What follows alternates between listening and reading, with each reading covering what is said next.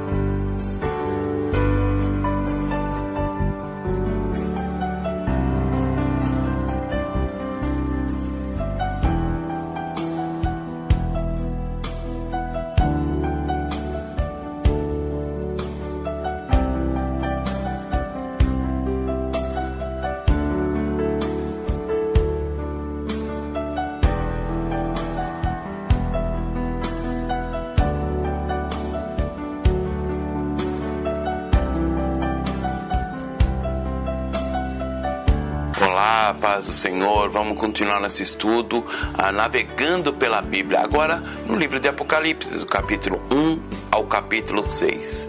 O tema principal: um livro cheio de mistérios. Por que Apocalipse é difícil de entender?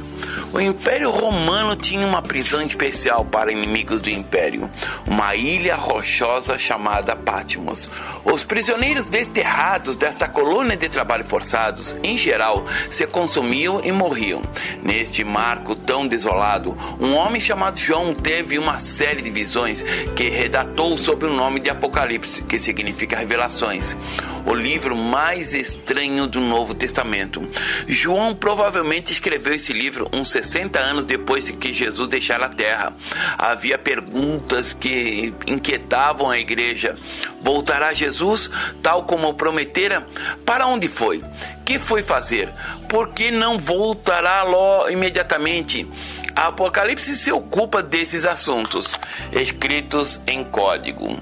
Nenhum livro do Antigo Testamento se parece com o Apocalipse. No entanto, durante o tempo em que foi escrito, havia um grande auge de livros judaicos de caráter apocalíptico, livros que descrevem simbolicamente a destruição final do mal e triunfante do bem. Os escritores que escreviam aos cristãos perseguidos e preocupados sobre o futuro precediam que ia suceder. Com frequência utilizavam linguagem de código para proteger-se, por exemplo, usavam a palavra Babilônia ao criticar Roma, em caso de seus escritos caíssem em mãos alheias.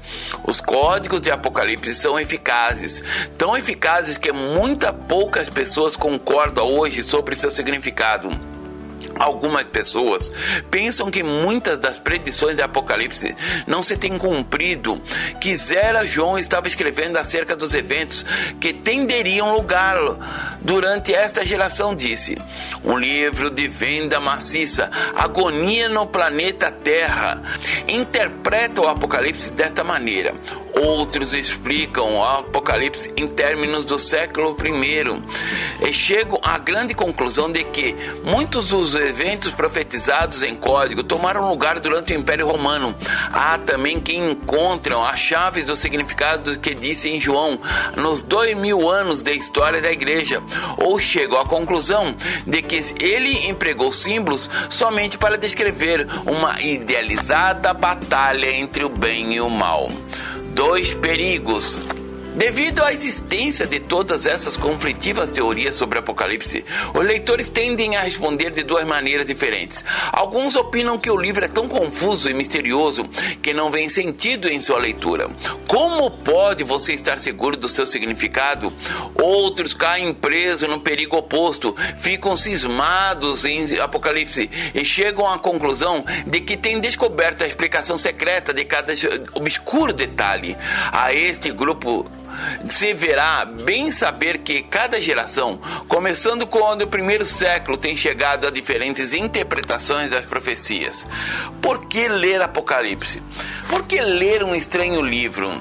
João nos dá uma boa indicação em sua primeira frase, que apresenta esse livro como revelação de Jesus Cristo. Apocalipse nos pinta um retrato único e singular de Jesus Cristo, e o Novo Testamento ficaria incompleto sem o mesmo. Os evangelhos descrevem a vida de Jesus Cristo na terra desde esses quatro pontos de vista diferentes. As cartas consideram o profundo significado de Cristo ressuscitado e o que tem seguido. Porém, Apocalipse mostra o que Jesus Cristo, desde a sua perspectiva, como ele é poderoso, ama e senhor das forças cósmicas do bem.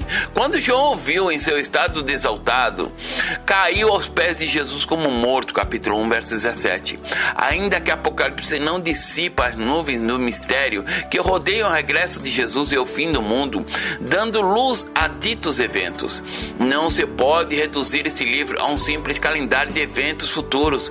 Traz verdades permanentes para cada geração de leitores. Apocalipse fala do futuro triunfo de Cristo sobre todo o mal presente no universo.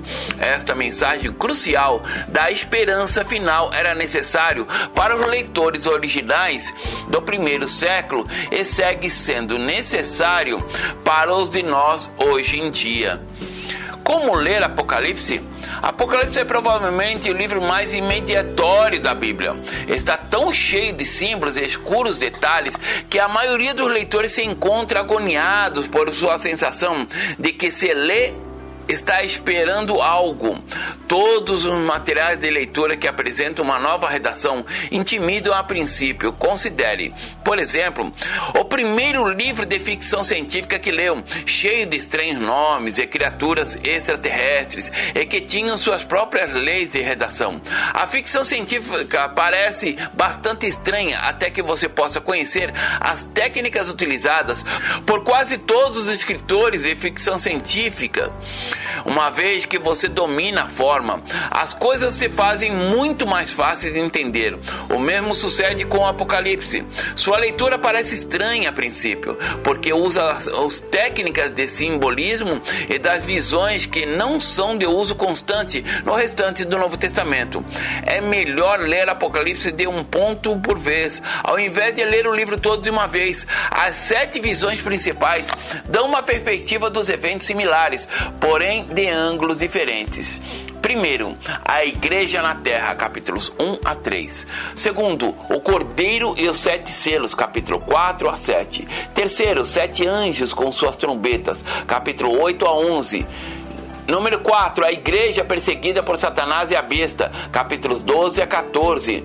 Quinto, as sete taças da ira de Deus, capítulo 15 e 16. Sexto, o juízo da Babilônia, capítulo 17 a 19 verso 10. É o juízo final e a vitória final, no capítulo 19, verso 11 até o final. Trate de ler uma visão de cada vez de forma completa, seguindo subtítulos que orientam a leitura do texto bíblico. Enquanto lê, trate de ir mais além dos símbolos visuais em busca de significado que transmitem. Pergunte-se: quem me disse isso sobre Cristo, sobre Deus, sobre o verdadeiro significado da história? Não trate de analisar os detalhes ao começar a leitura. Limite-se ao princípio seguir as linhas gerais de pensamento. Tenha também em mente a situação dos cristãos perseguidos que receberam primeiramente este livro.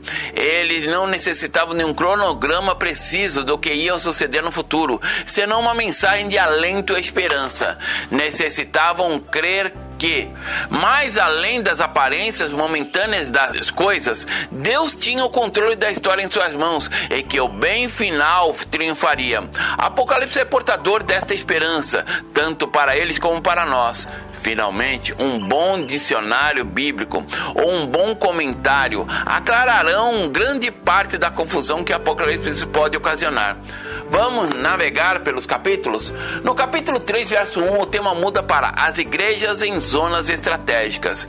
As cidades que menciona nos capítulos 2 e 3 eram cidades do mundo antigo no que havia uma igreja. João as menciona na ordem que o mensageiro seguiria a rota que haveria encontrado, começando com a cidade principal de Éfeso e logo recorrendo ao círculo da direita para a esquerda. As cidades estavam situadas na região que hoje hoje em dia é a Turquia. As guerras religiosas de vários séculos cobraram suas vítimas. Nenhuma das igrejas dessas cidades tem sobrevivido até o presente momento. No capítulo 5, verso 1, o tema muda para os selos e livros. Certas palavras e frases que se usam em Apocalipse tinham um significado mais claro para os leitores antigos que conheciam certos objetos. Por exemplo, os documentos importantes eram enviados em papiros selados com vários selos de Somente a pessoa autorizada, na presença de testemunhas, poderia abrir o documento. Por isso, nesta visão, somente o ser digno podia romper o selo. Vamos aprofundar? Uma surpreendente representação de Jesus. Um desvalido cordeiro é o mais poderoso de todos os seres. As representações de Jesus abundam em Apocalipse. Uma das maneiras de estudar esse livro é seguir uma determinada representação ao longo de todo o livro. Depois de sua resplandecente aparição no primeiro capítulo, Jesus é representado como rei, como criança, como guerreiro montado em um corcel, como senhor de toda a terra e como esposo da noiva. No entanto, de todas essas representações, nenhuma é tão surpreendente e improvável como a que encontramos na segunda visão de João. No entanto, se trata de uma imagem que aparece repentinamente ao longo de todo o livro. Para preparar a cena desta visão, o livro de Apocalipse usa mais drama visual que uma novela. Os relâmpagos fulguram, o céu treme e importantes seres formam um círculo ao redor de um trono exaltado. Quatro desses seres parecem simbolizar as mais impressionantes exemplares de toda a criação, já que um dito comum daquela época afirmava então o seguinte: o mais poderoso de todos os pássaros é a águia, o mais poderoso de todos os animais domésticos é o touro, o mais poderoso das bestas selvagens é o leão, e o mais poderoso de todos os seres é o homem. Somente há um ser digno. Uma pergunta ressoa nos céus: quem é digno de abrir o livro e desatar seus selos? Capítulo 5, verso 2. Em outras palavras, quem é digno de dar início à nova etapa da história? Ninguém pode responder, o que desalienta João grandemente. Nenhuma das quatro impressionantes criaturas é capaz de fazê-lo. Porém, subitamente, João vê outro ser, um cordeiro como imolado. Capítulo 5, verso 6. Esta representação implica há um grande paradoxo. Nem os majestosos anjos, nem os seres viventes tinham direito de romper os selos. Somente um cordeiro poderia fazê-lo, um desvalido e imolado cordeiro. João descreve um cântico de celebração. Digno é de tomar o livro e de abrir os selos, porque fostes imolado e com seu sangue nos tem redimido para Deus. Capítulo 5, verso 9. Cântico que mais tarde colocaria música a Handel em sua composição O Messias. Em outras partes do Apocalipse, os verdadeiros crentes são identificados por, como aqueles cujos nomes estão escritos no livro da vida do Cordeiro. Essa poderosa representação reaparece uma e outra vez em Apocalipse, um livro sobre a guerra entre o bem e o mal. Cristo, o Rei e também o Cordeiro, ele que morreu por nós, sua morte sobre a cruz, que aparece uma grande derrota, na realidade deu início a uma vitória decisiva é, que para ele e para nós, e bem não havia sido destruído, havia triunfado. Vamos à reflexão e depois vamos ao, à pergunta do estudo de hoje. Bom, as etapas eh, da leitura de Apocalipse, ela é bem emblemática. Primeiro, ele fala das igrejas da Ásia, a visão de Jesus glorificado, com sete igrejas. A primeira carta, a igreja de Éfeso.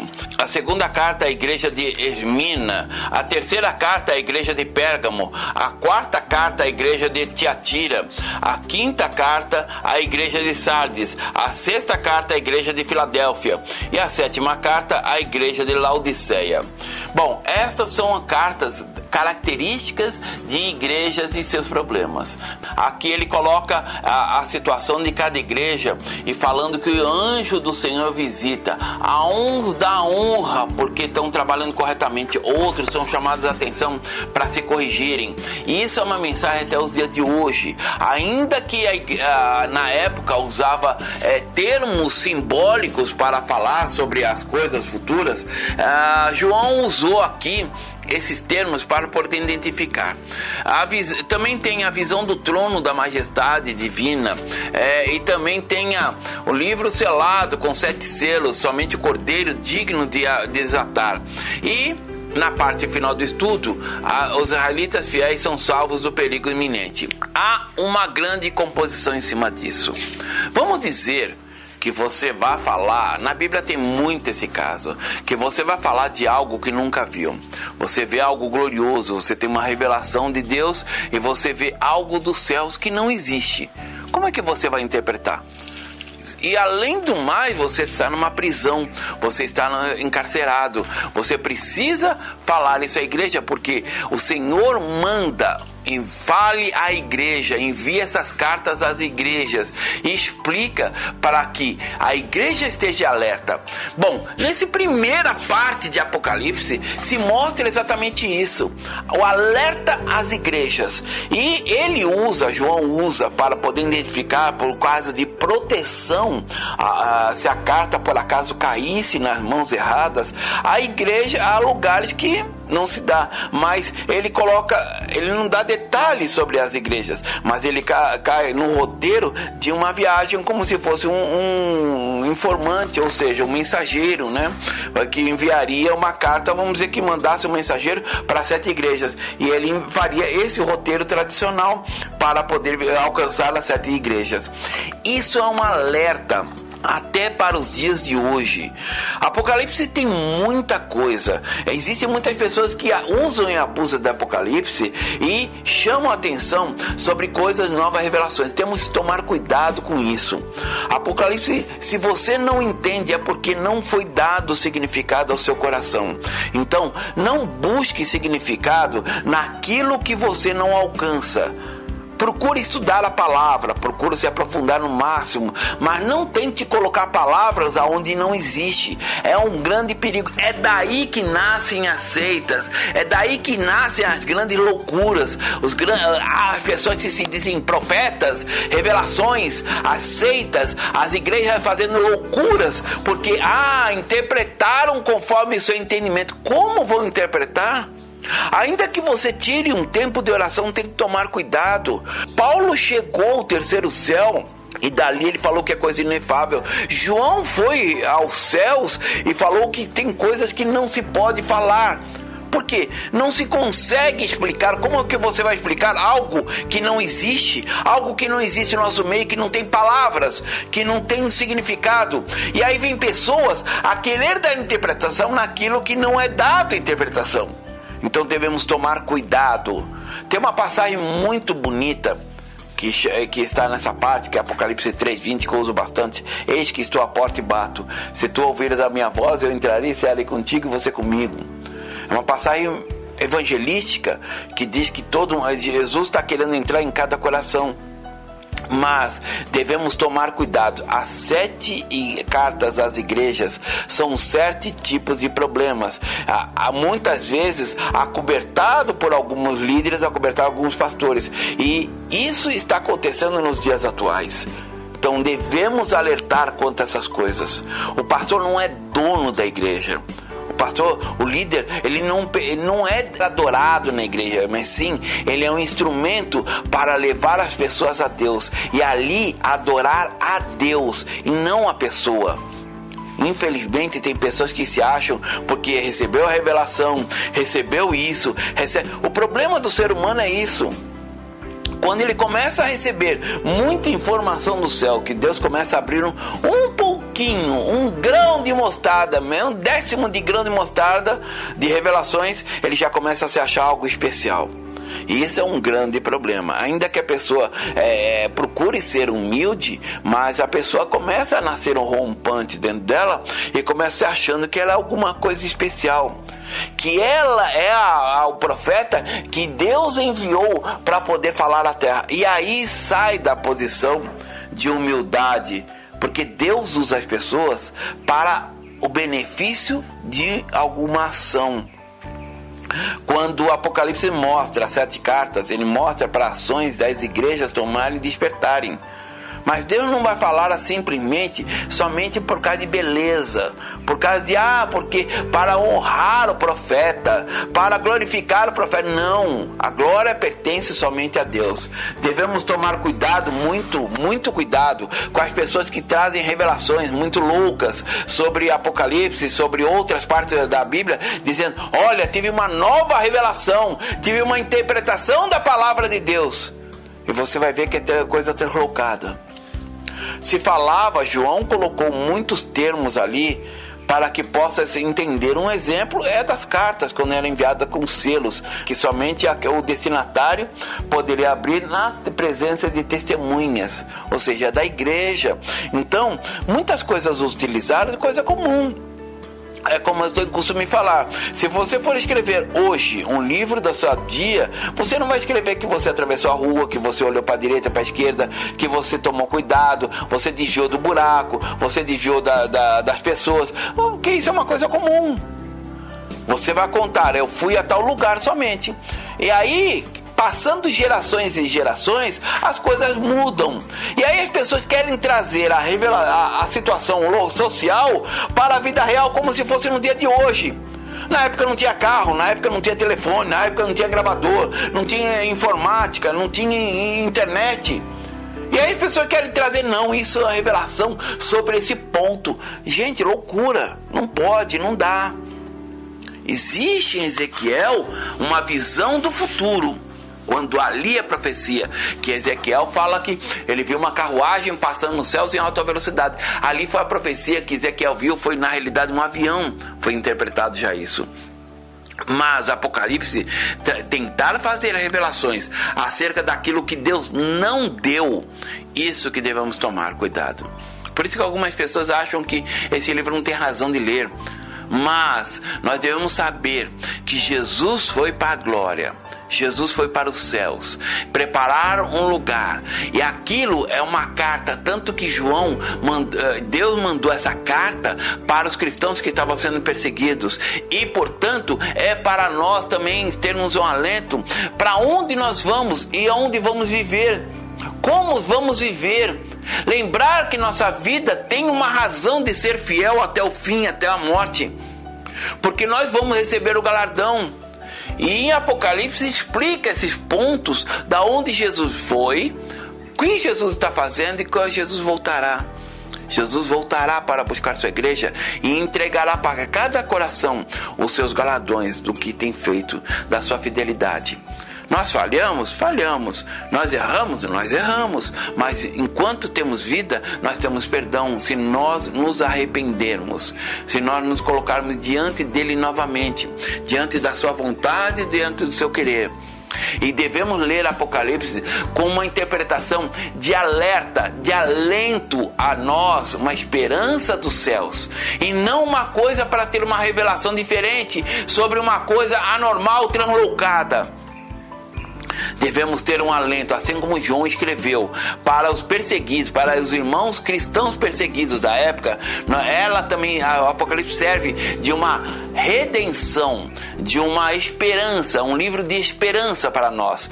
Procure ler João de uma forma de esperança. Procure ver que a, o mal está sendo vencido e o bem triunfará. Procure pegar, como o estudo desse, é, dividir as sete partes para poder explicar as sete partes e procurar. Procure concordâncias bíblicas, procure dicionários a ler Apocalipse para você ter um pouco de entendimento. Mas, por favor, não jogue as palavras que não existem. Tome cuidado até com revelações de certos livros, porque você pode usar para com certos objetivos e tem que se tomar para que objetivo? O objetivo de Apocalipse foi um livro de alento a cristãos perseguidos e a nós para nossa esperança a mantermos fiéis eh, e ter a certeza que um dia iremos nos encontrar no céu, que iremos nos encontrar na glória, que lá teremos um lugar, uma moradia, que lá iremos viver num corpo glorificado, num corpo sem defeito, sem doença, sem problemas. Porém, nós iremos reconhecer uns aos outros. Na segunda parte nós vamos falar sobre isso. Nós vamos estudar essa parte agora na última, na segunda e última parte. Mas que você possa estar cuidando para que a, a leitura do Apocalipse não traga a você revelações que não existem Procure tomar cuidado quanto ao que está se lendo. Lembre-se que é um livro de alento, um livro de compaixão, um livro de esperança para a nova glória, para a nova Jerusalém. É um livro que vai dizer para você assim: Jesus te ama e Jesus está preparando um lugar, a nova Jerusalém, a, a, o Éden transformado, Éden purificado. Nós vamos voltar a viver aonde nós fomos destinados, que o pecado nos tirou isso. E o diabo vai ser vencido e vai ser derrotado e apagado de uma vez por todas. Jesus é vencedor. E essa é a esperança que devemos ter ao ler o livro de Apocalipse. Nós devemos concordar que a nossa esperança está em Jesus e que a leitura de Apocalipse seja não para buscar novas revelações, mas para buscar um alento de confirmação que a salvação vale a pena, que a nossa fé e o sofrimento que nós temos vale a pena, porque nosso galardão é garantido nos céus. Podem matar esse corpo, mas não podem matar sua fé. Não podem pode matar seu espírito. Que você possa ter essa esperança avivada em seu coração. Que você possa ter em seu coração essa esperança a despertada para que você possa falar para outras pessoas que Jesus salva, Jesus cura e Jesus batiza com o Espírito Santo. Que Deus possa falar em seu coração, que Deus possa falar poderosamente a sua vida e que você possa ler esse livro, não buscando revelações estranhas, mas buscando uma esperança que vai ser tudo isso preparado para nós, aqueles que temos a Cristo Jesus e obedecemos seus mandamentos e estamos debaixo dessa autoridade, que possamos que um dia nós iremos nos encontrar na glória e lá sim iremos glorificar ao Pai eternamente, iremos viver eternamente a presença do Senhor. Que o Senhor te abençoe, que o Senhor possa resplandecer sobre ti a graça, a misericórdia e o amor. Até a próxima parte do nosso estudo do livro do Apocalipse. A paz do Senhor. Ah, vamos lembrar da pergunta da nossa, do nosso texto. Que significado tem para você a representação tem de Jesus como cordeiro imolado? Quais são suas representações, as imagens favoritas de Jesus? Pense nisso que você estudou e escreva aí analise sobre isso e vamos continuar nossos estudos.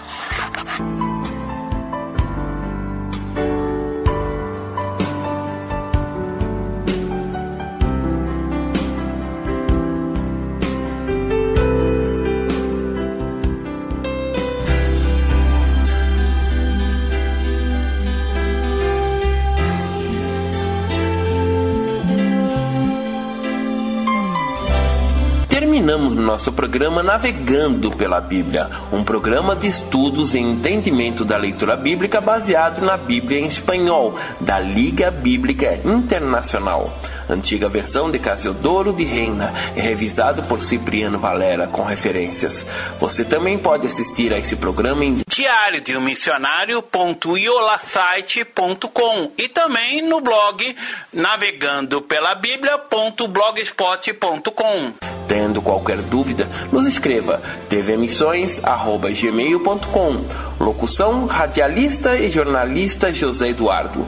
Produção: Comunicadores Sem Fronteiras Brasil. Até o nosso próximo programa.